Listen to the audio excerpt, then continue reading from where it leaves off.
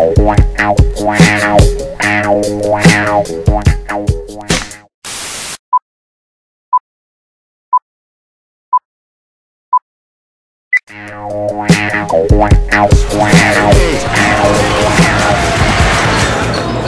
Toronto Tamil Basketball League had their All-Star game up at Stephen Leacock this afternoon. The East in red, the West in white. This one went back and forth. Seven lead changes.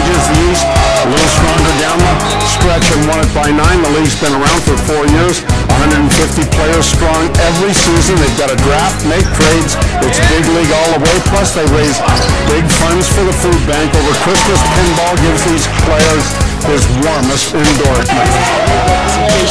how people just uh, come together and do something positive, do something great. Then they have a chance to, to be able to, to. Trying to do that alone is a tough thing, and that's what community is all about. Pinball's something else himself, and uh, golf, uh, John Rollins leads the field by three going into the final round of the Buick Invitational. Farah, back to you.